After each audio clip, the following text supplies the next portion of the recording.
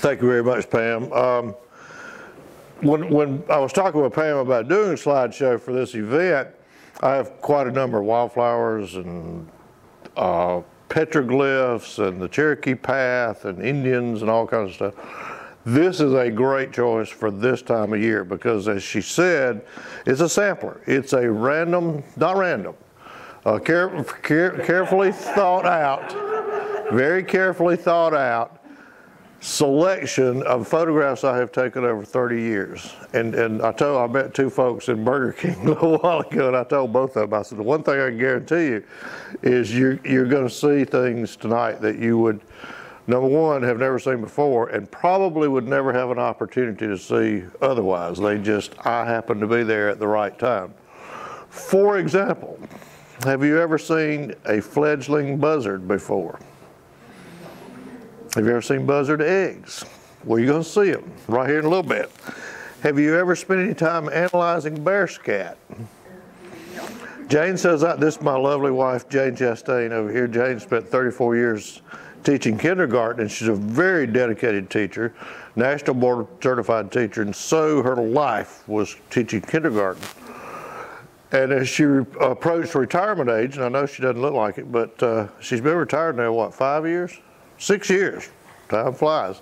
And people started getting worried about Jane. Says, you know, kindergarten teaching is her life. What's she going to do afterwards? And so finally somebody asked her, Jane, what are you going to do? And she said, well, I think I'm just going to follow Dennis around. He seems to have a good time. so let's get started. This is titled Jocassee Gorges because we live over in the, in the Jocassee Gorges area. But everything you're going to see here tonight applies to this area. Also, um, it is broken up into categories, and we cannot possibly cover all of it tonight. With your permission, I'm going to slip over, skip over petroglyphs, which is an absolutely fascinating topic, and it's hot right now. Uh, an archaeologist and myself uh, discovered it's now, well, it was in the year 2000, about a thousand Indian rock art uh, rock carvings up on Table Rock and Pinnacle Mountains, which is kind of the epicenter of the Jocassee Gorges region. In the years after that, we became fast friends and started checking every rock outcropping in the area. To make a very long story short, uh, me and another fellow raised enough funds to hire an archaeologist about six weeks ago to come up here and spend a week studying this site, the main of now 15 sites. It is just incredible. He sent me an email this morning, lives in, uh, in Atlanta, that he got some fellows with a drone to take an overview of just one rock outcropping now.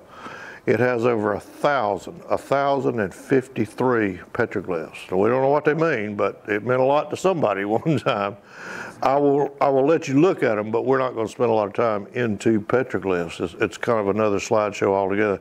Let's get on to black bears and snakes and dragonflies and wildflowers and things like that.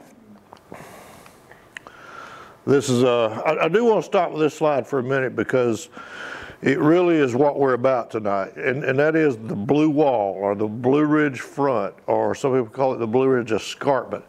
Uh, it, it, it starts, if you go back down to Highway 11, turn west, and um, head toward Table Rock State Park, somewhere around Gowensville, you will start to see a wall of mountains on the right side, on in, to the due north.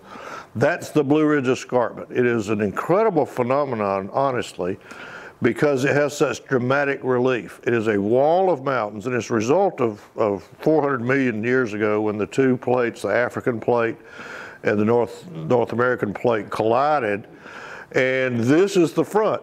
This is where the collision took place. And virtually all of our major ridges slope northeast to southwest. Uh, the southern exposure always has very different vegetation from the north, which is mostly laurel and ivy, is what I grew up calling it, rhododendron maximum and, and uh, Kalmia latifolia, which you probably call mountain laurel and, and great laurel or rhodo, uh, maximum rhodo, big rhododendron.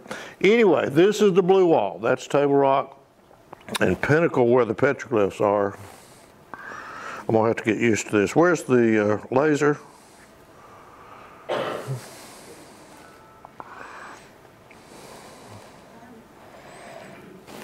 red line right. It's red above buttons. That one. Got it, thank you. Yeah, this is where the petroglyphs are, right up in here. Uh, but anyway, this is the blue, the blue wall, the Blue Ridge Escarpment. This is the area that National Geographic a couple years ago deemed to be one of the 50 last great places to visit on Earth, and for good reason. Just one more thing about this area. One of the things that makes it so unique. Just from a botanical perspective, one of the reasons we have such diverse and abundant flora is because we're actually at the southern limit for a lot of northern species, species that you would find in the northern, uh, northeastern United States and even in, into Canada. We are also at the northern limit of a lot of tropical and subtropical species too, so they kind of collide right here. You will find things uh, right where I live in Pickens County, up on these high elevation uh, granitic dome plant communities that you find among the dunes at Myrtle Beach and, and farther south. So, because of that, we have a tremendous. I tell people I'm on first name basis with about 1,200 plants.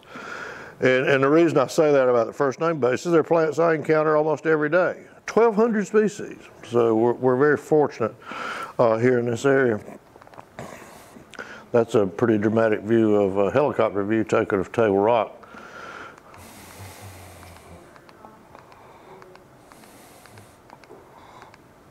And this is what we're going to not talk about.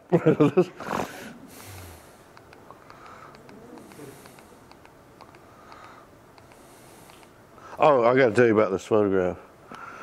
Um, I'm a hunter and, and have been for most of my life. And I hunt, you remember I pointed out Pinnacle Mountain, which is actually the second tallest mountain in the state. We live right at the base of that mountain on Highway 11. And I walk to where I hunt. And so it takes me about two and a half hours to get up on Pinnacle to one of my special hunting places up there. The morning of January the 1st, the year 2000, which is the last day of our deer season, I decided I wanted to go up to my place that I call Pretty Place, and I wanted to get up there before first light. Got there while it was still dark down on the ground, but I could see it was breaking light. Turned around, and the sun was rising on a new millennium. So this is the literal rise of a new millennium. These, uh, these are just a, a handful of the petroglyphs that are on that particular site.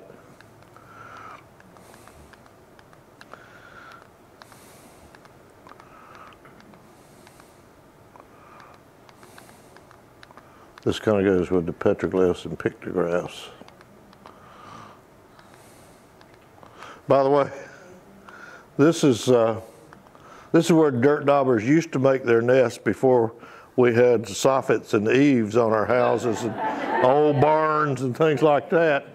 Uh, it's inside of a rock shelter, and also this is where Phoebe used to make her nest. You you probably have a Phoebe around you. They love windowsills and ledges and, and things like that, and uh, this is where they did it before we came along. Okay, buzzard eggs. Many years ago, I was out botanizing on a mountain called Big Rock in our area. Big granitic dome, kind of a monadnock, monadnock, which is a an isolated mountain and not necessarily connected with any other chain. Big dome um, of mountains, and it's pretty steep. And I had climbed up there, spent a morning botanizing up around the the plant communities that are associated with the rock cliffs, and I went off the backside to go back, which, as I said, is almost always steeper uh, than the south side. So I'm sliding off down through there, and I passed a rock shelter, and I can't, I can't miss a rock shelter. There, there are always interesting things in there, animal tracks and scats, and sometimes Indian artifacts. So I said, well, I've got my camera with me. I said, I'm gonna, I'm gonna go crawl in this rock shelter. The entrance was only about this wide, but it was about four feet, five feet wide, and it's it's big enough for humans to have gotten back in there, Native Americans, and gotten out of a shelter. So as I approach, the you know, about four feet away, and this buzzard comes flying out there. They've got like a four foot wingspan. It's like a 747 right over my head. And I said, "Good Lord!" And I looked, and the buzzard flew up there. And I said, why would that buzzard be under that rock shelf? It was wildflower season, spring of year. I said, I bet you there's a nest in there. I've never seen buzzard eggs. So here we go. I couldn't crawl in there with my day pack, so I had to get my day pack off. I crawl in there, and the stench was so bad. But I had a little flashlight, and I could see, and yeah, there was there was some buzzard eggs. So I go back out, I get my camera, and I took one big breath, and I went, shutting in there, they backed out. So that may be your only opportunity, certainly your best opportunity to see buzzard eggs. Uh, and they're not much, they're not much to see, but uh, uh, if you've ever seen duck eggs, they're about the size of duck eggs. Half again as big as a large chicken egg. Okay, so there's that. Several years ago, several years after that, on another mountain a few miles away, oddly enough named Buzzard Roost Mountain, I was out exploring, gouging around, and uh, again, steep cliffs on the, actually steep and rocky cliffs, nearly vertical on the north side of, of Buzzard Mountain. Kind of working my way along one line, looking in various rock shelters. I was pretty heavy into looking for pictographs, cave paintings, and they're generally in rock shelters. And so as I was approaching this rock shelter, there, there was just this opening right here, you know, just what you see there. And, uh, and, and as I walked past it, something white went flashing by there. And I was only three or four feet away, but I couldn't tell what it was. Backed up and waited, and this showed up. Let me tell you something. This is the fledgling buzzard. This is the face that only a mother buzzard could love. That has to be one of God's ugliest productions yet. And there's a lot to choose from. But that's that's a fledgling buzzard. okay. Uh, in terms of baby wildlife, I told you about the archaeologist Tommy Charles that he and I. Uh, I had a had a phone call from him just out of the cold, really, but it happens a lot when you write for a wildlife magazine. Folks call wanting to know how to get a possum out of their basement and and how to get skunks in off of their cocker spaniel and things like that. And uh, so this guy calls and says he's an archaeologist with the Institute of Archaeology and Anthropology in Columbia, and he's looking for petroglyphs. And and I'm thinking, what kind of archaeologist is this? The petroglyphs are out in New Mexico and Arizona and the American Southwest. We have arrowheads and pottery. We don't have any petroglyphs. And I, listened for a little bit and I said, well, let me ask you something. Um, how many of these petroglyphs have you seen in South Carolina? He said, six. I said, really? He said, yeah. He said, right, his office is in Columbia. He said, right here off of Assembly Street in Columbia, between there and the Congaree River, there is a boulder with a meticulously carved beetle on it. And I've seen it. It is meticulously carved and it's large. It's not some little tiny thing. And so now he's got my interest. And uh, tells me about one, he's seen a turtle on a rock on the Chattooga River on the South Carolina-Georgia border. And, and so I said, well, what, how can I help you? He said, well, they tell me you know your way around up in the mountains. And he said, they're finding these in northwestern uh, Georgia, eastern Tennessee, Virginia, western North Carolina. They ought to be in South Carolina. He said, do you know of any granitic domes or outcroppings? And I said, well, I live next to the biggest granitic dome in South Carolina, Table Rock. You come up to the house, and if you if if there's anything up there, we'll find it. Now, this is going to sound like something I made up, but it's gospel truth. We found 600 that first day, wow. all on one rock outcropping. And it has a continuing story that goes with it, but that's for when we do petroglyphs sometime. Several years later, we kind of focused on pictographs. There were only three known pictographs, cave paintings, uh, in South Carolina. We have found three more since then. One of them was in this rock shelter, which we now call the bear shelter. And uh, it's a it's a funny story how we came to find out about it. We had a friend, a common friend, who was kind of a benefactor of this rock art survey that we were doing, financing it. And her 16-year-old son, 15-year-old son, was a Boy Scout, and they were going between on the hiking trail between Sassafras Mountain and Table Rock Mountain. And he calls his mom And he says, Mom, I have found a huge rock shelter. He said, This thing is like an auditorium. Well, now, first of all, this is in my backyard. I don't know about this thing. So Leslie calls me and she says, John is up on Pinnacle Mountain and he has sent me cell phone. You know how kids are. I, it took me a while to think of a phone being also a camera. I'm still trying to get over that. I'm still trying to get over the fact that my cell phone camera is better than my camera camera. I have actually had art of photographs from my cell phone published in the Wildlife magazine. So she sends me on the computer while we're talking on the phone a photo, and this thing is massive. It's like 100 feet across the front, 40 feet deep. The ceiling is 20 feet tall. And I said, John, I've never, I have no idea this is in my backyard. This is where I've spent most of my adult life. Where are you? Well, this is where it gets interesting. This is a 15 year old speaking to a 63 year old. And he says, Well, it's like, um, you know, between Sassafras and said, Yeah, your mother told me that. I said, Describe what it looks like around where you are. He's up at 3,000 feet. He says, Well, it's like um, we just crossed like a river.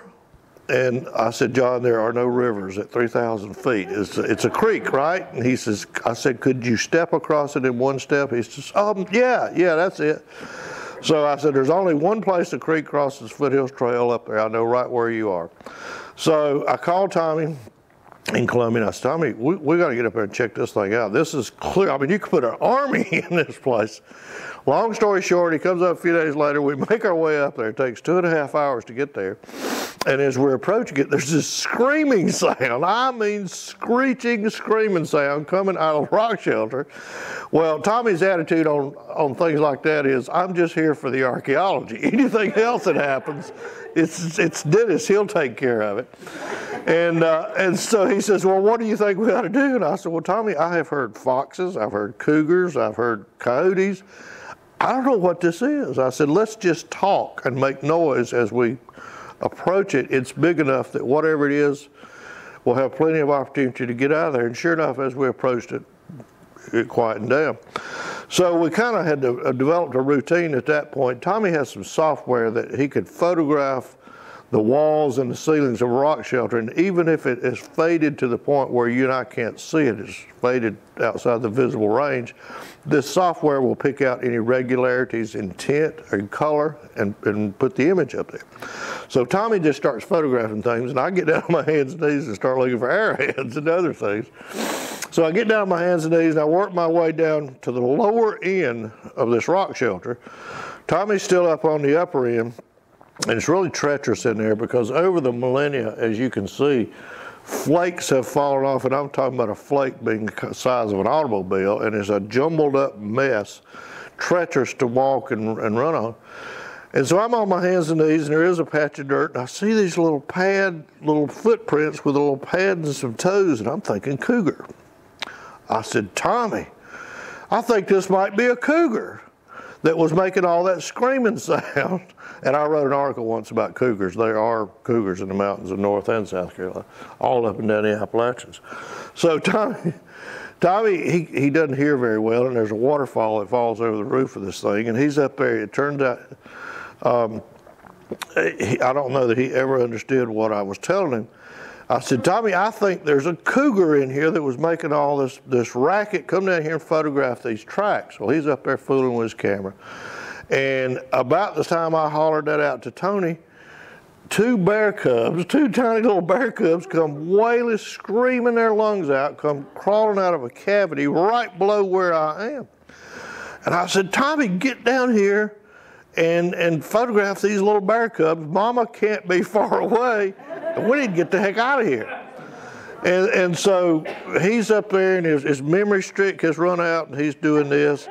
Well, when I hollered, the two cubs went back in the cavity, and all of a sudden I could hear the, the squealing coming out. There's a back door entrance to this thing, a little shuttle scuttle hole in the back. So I devised a plan. I said, well, when Tommy does finally get down here, we'll probably have one opportunity to photograph these cubs. How often does that happen? And, and so I took my walking stick and I said, I'm going to field test this theory before Tommy gets down here to make sure it works. I stuck my walking stick down in there and stirred it around.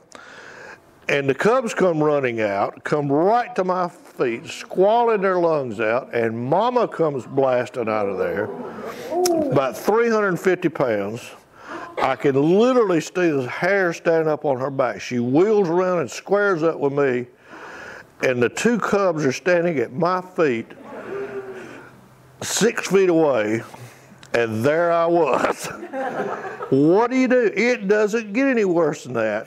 And I said, Well, Tommy, are you coming down here to photograph this? Well, he's up there giving it this, and he doesn't, he, he doesn't know any of this is going on. And there we were, and I was in a standoff, and I have had lots and lots and lots of bear encounters, some in the daytime and some in the dark, and some that I didn't know how it was going to go, how it was going to end up. And what I have learned about black bears is you have to stand your ground. They're easily intimidated if you stand your ground, appear to be larger than you are yourself. This is not grizzlies. Now, if you do what I'm about to tell you with grizzlies, you end up in a grizzly's stomach. They see us as food. Um, black bears are much more easily intimidated. So I just locked onto her and, you know, had a grimacing look and I had my walking stick and I kind of hunched up to appear larger. And she looks over the situation and the, and the cubs are just still down there squalling their lungs out. They're clearly not going with her. They have apparently decided I'm the solution to all their problems, whatever it is. So she, li- uh, not literally, but she blinked. She turned and, and walked about five feet and then wheeled around again, I think thinking maybe the Cubs would follow her. She did it two more times and then she left. I said, Tommy, did you get all this over? And he's up there still doing, unaware of the whole thing. Finally makes it down there and gets this one cub. Isn't that a precious photograph? I would say that cub weighs, they're twins, probably weighed about, uh, about four or five pounds. but anyway, that's my computer desktop image now from time to time. So, huh? She eventually slipped out the far end, and I'm sure she didn't go very far. But when Tommy did finally make us down there, took that photo, I said, Tommy, we need to get out here now because she's going to come in the back end, and then there will be. Because, like I say, it's treacherous. You can't really run in there, and, and you don't ever want to do that with a black bear. Throw rocks at them, rattle a sapling branch, holler at them, call them ugly names, all sorts of things to intimidate them, and they'll they'll leave. Mm. These these are pictographs that I was talking about. Cave paintings. By the way, that is Tommy Charles right there. I hate we can't do everything, but uh, okay, black bears. Everybody's interested in black bears, and I'm, I, like I say, I've been dealing with black bears uh, for 20, 25 years, and I'm still learning. Uh, bla- black bears are a mystery wrapped in an enigma. Uh, at the same time, they are an elusive creature that will shy away from the slightest hint of human scent. And that same black bear might show up on your deck, pulling the uh, bird feeder down and having it. Uh, they're, they're kind of an odd species. They have clearly uh, decided that their future lies in learning to live among us, and I think that's good advice for us. You know, if, if you have a nuisance spare, you need to understand that this is where he lives too. Uh, just find ways to live with. Take up all your cat food, dog food, garbage cans, and stuff like that for a short period of time, and he'll leave. He's only there for the food. Take away the food, he's gone. He's got other things to do. And particularly in the fall of the year, it's all about calories. Uh, black bears actually do hibernate in this area. They go into a winter torpor. It's probably not as deep as, say, Minnesota, you know, in terms of lowered metabolic rate and respirations, that kind of thing. Uh, and they do periodically, particularly the males, wake up a couple times during the winter and walk around. I've seen quite large bear tracks in the snow in February and March, but for about three months they're dormant. And so they have got, and the cubs are born during hibernation, so they've got to put on these calories. Black bears have been recorded consuming 20,000 calories a day. 20,000 calories a day during that feeding frenzy between about the 1st of October and mid-November when the white oak acorns are just falling in mass. You know, this is where you can hear them on your roof and sometimes you can't safely walk in the woods. There's so many acorns and sometimes there's almost nothing, which results in bears will go wherever the food is. 15 miles, 30 miles in the daytime is nothing for them. Uh, this is a photo I shot. It's kind of blurry because I was out actually on a scouting trip and I was on that same mountain where the buzzard fledgling was, but I was up on the top. I was just standing up there and leaning up against a tree. And I see this bear coming up the ridge. He's walking right straight toward me because I'm in a gap. It's pretty clear he's going to cross the gap. I said, this will be interesting. I'm just going to see just how close this bear will get to me. And so I just lean up there and he comes and he gets about close to right here. And I said, hey, and he jumps on oh, and turns, and, and I just saw a black flash. That's all. So most of the times that's the way black bear encounters go. There are some older males that have an attitude, and you just have to kind of look at the overall situation. But always, always try to make yourself appear bigger, intimidating, and even the, the boldest will eventually leave you. Um, Sometimes you may notice uh, a, a, tag in a bear's ear if it's ever been trapped for whatever reason as a part of a study or because it's a nuisance bear. They'll weigh them, take some blood, and uh, look for parasites, and then they put a tag and a number in there that can help them keep up with the where, um, how much they travel, which can be impressive. They trapped a bear in my area there one time it had been hanging out at a used car lot in Westminster over in Oconee County.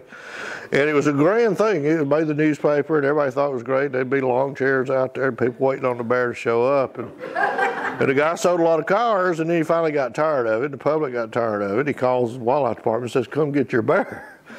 And so they go over there and they collect the bear. This is in Westminster over in uh, Oconee County. They took the bear 70 miles away into eastern Tennessee within 14 days it was back. A little more mature bear. Uh, he's got two ear tags in him. So uh, I think he's probably has a history with, uh, you know, with, with dog food and bird food. And, oh,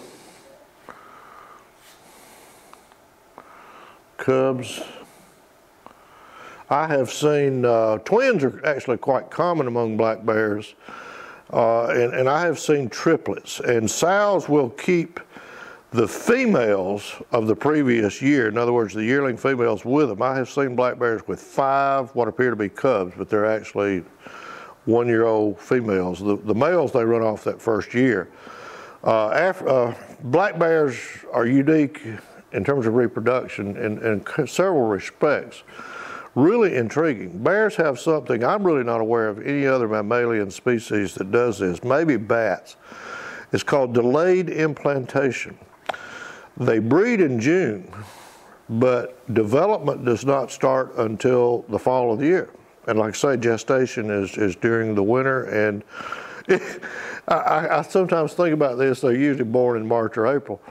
Are usually born during the winter and then the, they all emerge in the spring. And so the sow goes in, she crawls in this nice little nest in the fall of the year, crawls in there. And when she wakes up in the spring, there's this little four pound bundle of joy, and she has no idea where it came from. Because when they're born, they're hairless, blind, they attach to a teat and, and suck, you know, until they, you know, grow very rapidly. That one you saw could not have been out of the den more than, I believe that was late March or, or uh, early April, so they had just emerged. Probably that was their winter den uh, where they were. So. Uh, but delayed implantation is they breed in June, they do not implant on the uterus and start developing as an embryo until October, June to October. And I believe the reason for that, sometimes you don't want to overthink a situation because nature has her own rules and sometimes it's hard to know what those rules are, but it appears to me, because I have a master's degree in nutrition and understand a little bit about this, um, it's probably that delayed implantation is by October when the acorns are falling, the bear's metabolism reflects either an abundant supply of food, a scarcity of food, or something in between. So, do you implant one, or do you implant two, or even three? In a bumper year, the bear would probably have three uh, uh, fertilized eggs implant, and three embryo, embryos would develop into cubs. That's just the logic that I have kind of imposed on it, but it makes sense in terms of everything I know. The other phenomenon which uh, I think it was Thoreau who said nature is red in tooth and claw. Uh, sometimes Jane thinks, for example, that every snake is a bad snake and ought to be killed on sight, no matter what kind it is or anything. But you know, everything has its place in nature. And, and, black bears have in common with Japanese macaques and African lions that they go on the prowl in the spring of the year and they kill all the cubs they encounter. And, and here's the logic that I didn't come up with, but bear biologists all across the country have, have come to this conclusion that what this is about is protecting your territory. Bears, uh, black, male black bears uh, patrol and maintain and consider their own a pretty large territory, about twice that of females, about 15 square kilometers, pretty large area he has no idea whether that's his progeny or not, but it's utilizing his resources. And so if he does not kill the bear and it's a female, the female mother bear will not come into estrus for two years and she'll keep that cub with her. So he doesn't get to breed her even though she's living in his territory. And and, and her progeny are utilizing his resource, and if it's a male, it will eventually become competition. If he kills the cubs, she will become estrus immediately. And he just follows her around and breeds her, and then he knows the progeny of that union is his. That's the logic. African lions do it, Japanese macaques do it. It's kind of brutal, but we've had some cases of it where uh, they did a radio telemetry study up in the Jocassee Gorges, and I helped them uh, find their way around, how to get from here to here, there, and kept up with what they were going on. They called me one morning and said they had a particular female bear with two cubs that they could not find. The signal had not moved in two days, and they couldn't figure out how to access the site. It was off the north side of a mountain. So I told them how to get in there, and they went in there, and they found the mother bear and one cub. The, the sow was dead and uh, the, the, other cub was just just missing, and the mother the mother bear uh, had had been partially eaten. So they took the young bear, the cub, which was injured but and, not in all that bad shape, sent it to a rehabilitation clinic in Virginia. They kept it for almost a year. Came back as a healthy 140 year old, uh, 140 pound yearling bear. Uh, so it's just the reality of how nature works sometimes. This bad boy, uh, it wasn't so much us. We live uh, right at Table Rock State Park. This is about a 350 pound bear. You know, I told you that some male bears just have an attitude. Uh, my 90 year old aunt lives next mailbox down, and she has, and, and my cousin lived behind us who had a five year old and a seven year old at that time. And this, this male was going right up on their decks and intimidating my aunt as she walked from the house to the garage, had killed and eaten her little dog, uh, which is a crime beyond comprehension. It was, had been her constant companion for years. So I called the wildlife department and I said, I know your policy is not to, to relocate bears, trap and relocate bears unless human life or property is in danger or something like that. I said, we need to get rid of this bear. He's, he, once bears start doing that, making a living off of dog food and cat food, whether it's garbage dumps or whatever, you can't break them from it. Um, so we trapped this bear, which is pretty impressive. Um, that's his pad. And I just used that bullet for a comparison, but they have tremendous canine teeth. And uh, went with them as they released him. That's him heading off into the Jocassee Gorges. Fortunately, he never came back. Um, this, most people don't know, but this is a telephone pole or a power pole. Uh, black bears love to make males make marking posts, just like deer rub up a tree, you know, with their antlers to say, I'm the biggest deer in this area. And uh, bears, they, they don't do it like you might think. They back up to, uh, actually a pine tree is more common, and they scratch from this way, claw this way. I have seen huge trees that they have done this year after year in the same spot. They've gotten down to the heart of the tree. And, and they do it to power poles because they love the smell of creosote. Uh, you know, it's outlawed by EPA and you can't buy it anymore, but if there are any of those old creosote telephone poles out there, they will get, take them down. Blue Ridge Electric Co-op is the electric cooperative in our area. They actually have a line item in their budget to replace almost annually power poles anywhere north of Highway 11 because the bears are going to claw them over the years to the point where you could take your hand and break that one. So start looking around. They're everywhere once you know what to look for. Uh, there again, they've just clawed it, and, and sometimes because what happens when you claw up or injure a pine tree? Bleeds like a stuck pig, you know, as pine rosin starts dripping out of there, and that's part of the reason I think is because that that scent spreads far and wide, and the sow can go up there. Almost always, you will find black bear hair embedded in that. It's kind of like amber. Once it solidifies, the bear hair is in it, and she can go and smell that hair and say, oh, that's so and so. I didn't know he lived over here. so when she needs his services, she knows where to find him. Uh, sometimes they'll do it on smaller saplings, I think just, you know, for effect. uh, this is where they uh, just literally bit a poplar sapling into, and I, apparently I was right behind the bear when this happened.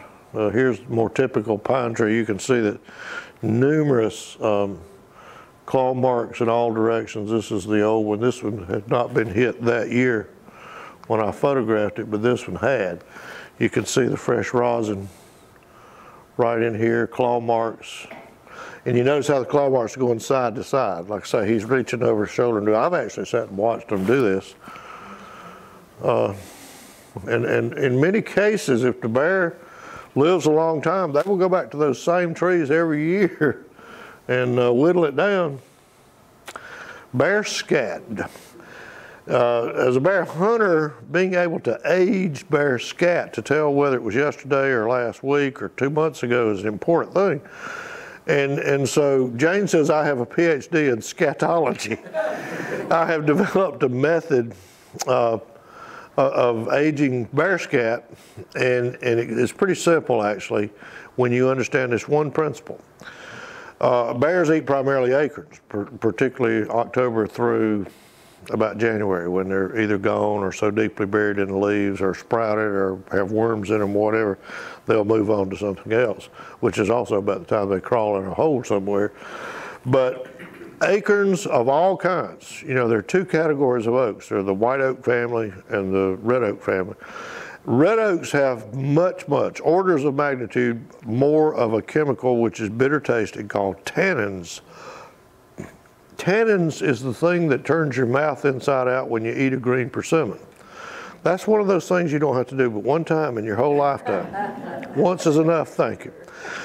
And, and the reason tannins are important to detect in the diet is they limit the bioavailability of certain nutrients. So it's giving that animal and us an indication of whether we ought to be eating that food or not. If you eat a food with a lot of tannins in it, you're going to get less nutritional reward from that because it just physically precipitates many of the mineral elements, trace elements, for example, but also some of the vitamins.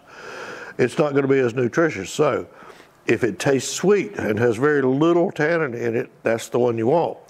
The white oak class, as a class, of trees has the lowest levels of tannin and probably in South Carolina, white oak and live oak down on the coast have the lowest even among the white oak class.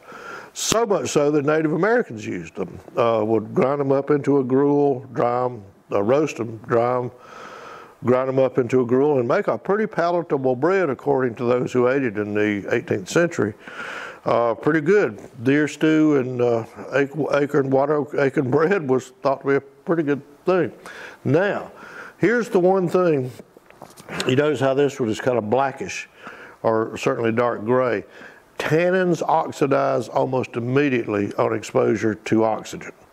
So what I have found by doing a cross section with my little foot, see that one's actually starting to turn black. This one, bear's been eating hickory nuts. If you've never seen or heard a black bear eat hickory nuts, number one, hickory nuts are extremely hard. Uh, and, and I wanted to prove this to Jane one time. And I put a hickory nut on a brick and hit it with a hammer and it broke the brick. Didn't break the hickory nut, but it broke the brick.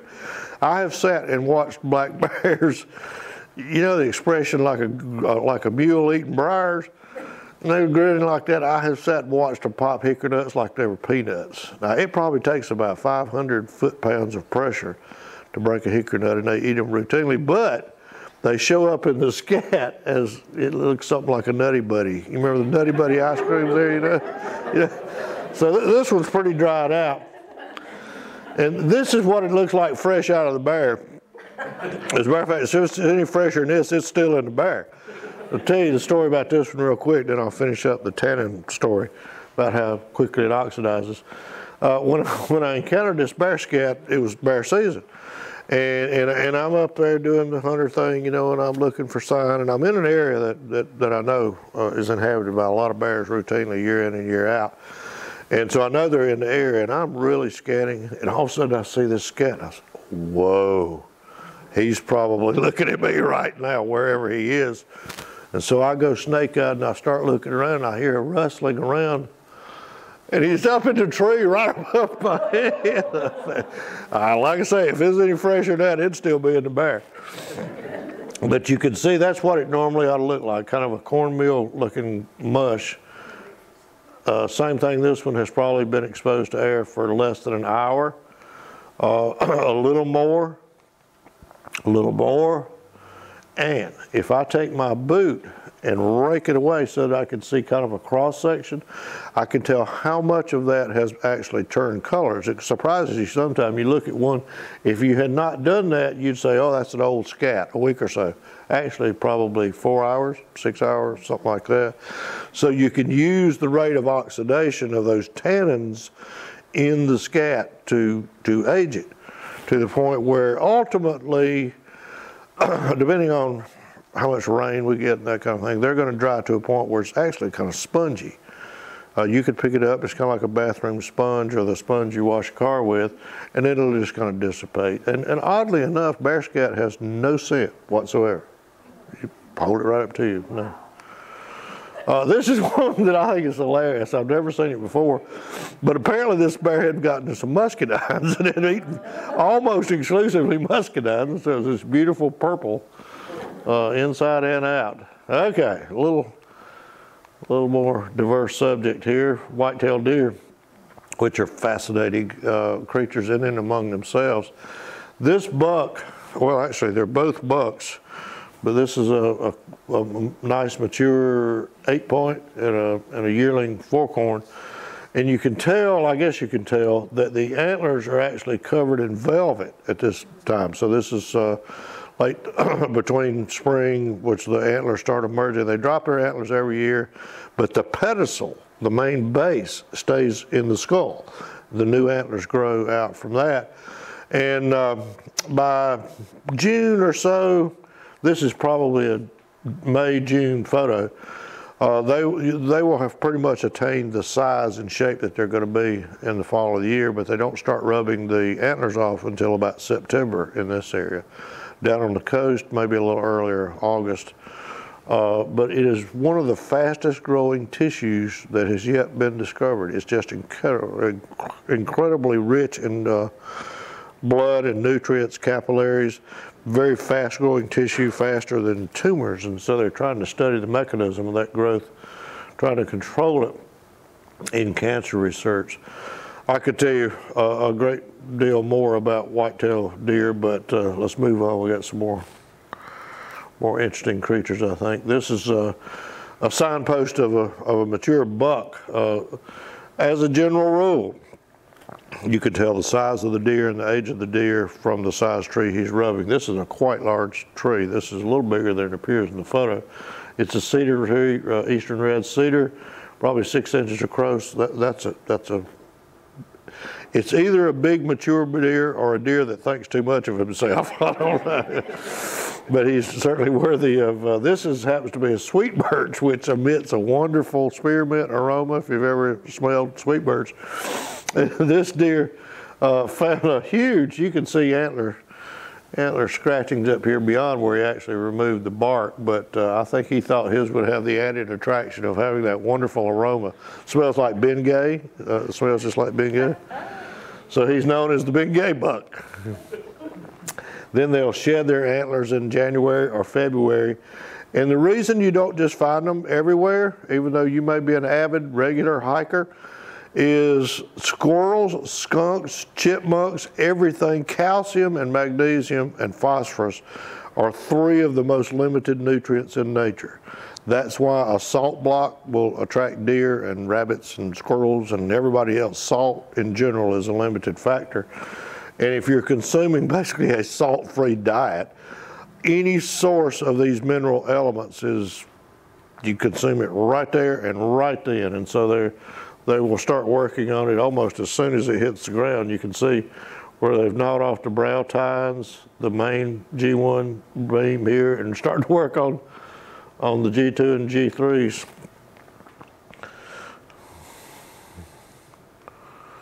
And of course, now we have elk. Uh, not all this is the reintroduced. This this one actually just showed up in Pickens County last year and became quite famous. He was on the six o'clock news on a regular basis. Took a tour of Pickens County over about a two week period, checking it out. He's a young bull. Uh, as that herd that was introduced now over 25 years ago into Cataloochee, up near Maggie Valley, uh, expands outward, they kept getting closer and closer. And so we knew I worked with a well, the chairman of our Rocky Mountain Elk Foundation in the Greenville area to get a, a, bill passed long in advance of when they show up in South Carolina, making it illegal to kill an elk in South Carolina because if you don't have that law when they do show up, he probably doesn't have a very bright future. Uh, so now it's illegal to kill one, and we are thinking, it's 45 minutes, okay. Gosh, time flies. it really does uh, I, I, told I told the Greenville News, I said, what he's doing down here is looking for his own territory. You know, he's he got pushed out. He's in an area where there are other dominant bulls, and you probably know the story. The the the dominant bulls collect huge herds, and it's their herd, and they will fight you to the death for that herd, for the rights to breed that herd, and so. He's uh, out checking out Pickens County and apparently took a liking to it because he stayed around for about two weeks and finally he worked his way to downtown Greenville I think as the Liberty Bridge down there on Main Street was quite an attraction and, and all this. And said, you know what? I could do this. I could live here. I like this. But he was he was a danger to himself and, and actually to others because people just have to have a photograph. Elk had not been in South Carolina since 1773 was the last recorded elk in South Carolina. So quite a phenomenon, and I understand that, but they had to trap him and take him back. Well, just like black bears, he knows where he's been. He knows how to get back there.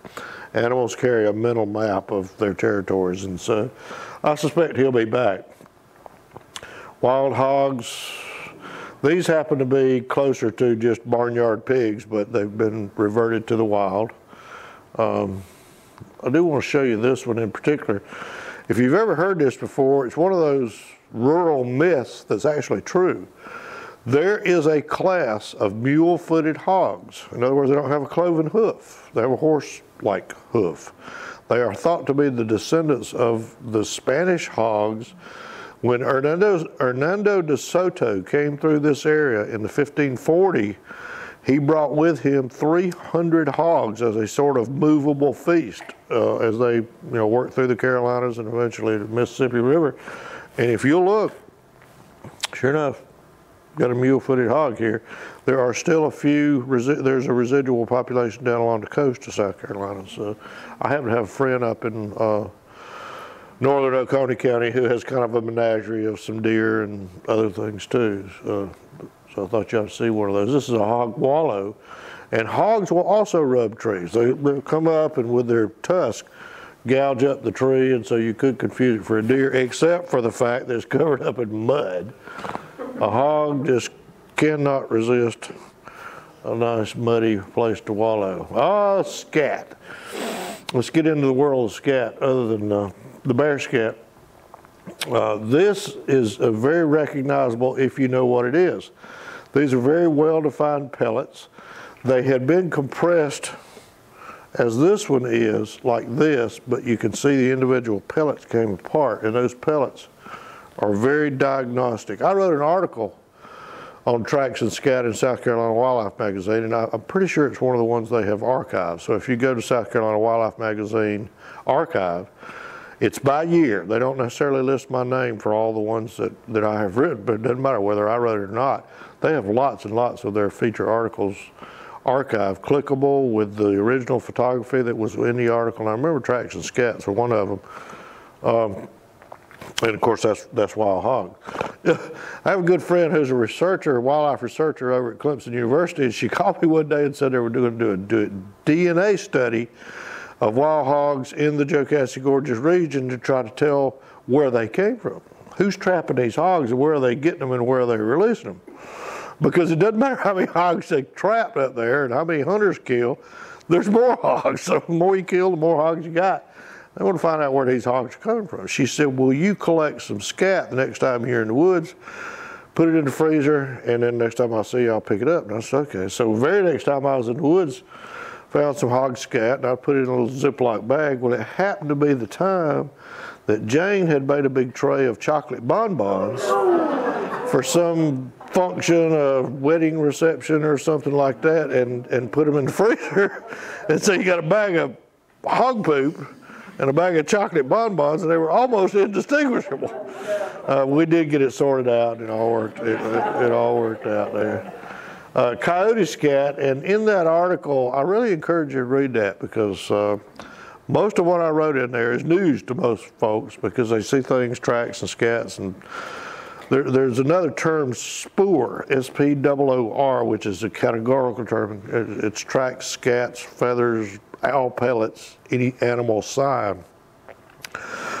But I, I wrote a little sidebar on coyotes because there's so much confusion about coyotes and how do you tell a coyote track and stuff like that.